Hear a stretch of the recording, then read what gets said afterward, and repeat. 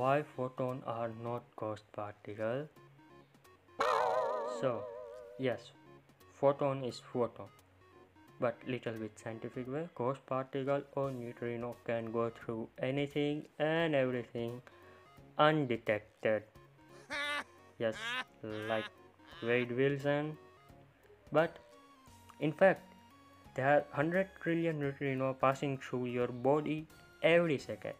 Neutrinos are elementary particles with a very small rest mass and no electric charge.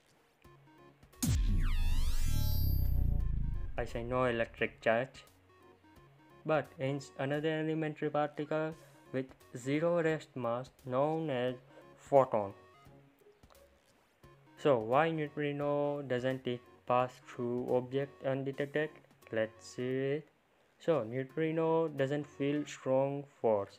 There are four fundamental forces electromagnet, weak nuclear, strong nuclear and gravity. Hence they are not bound into a nucleus being electrically neutral.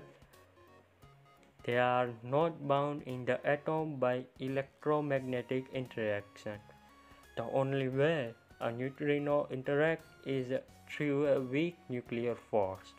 While Photons are quantum of electromagnetic field. These are the force which are the they are massless but interact with matter via electromagnetic force.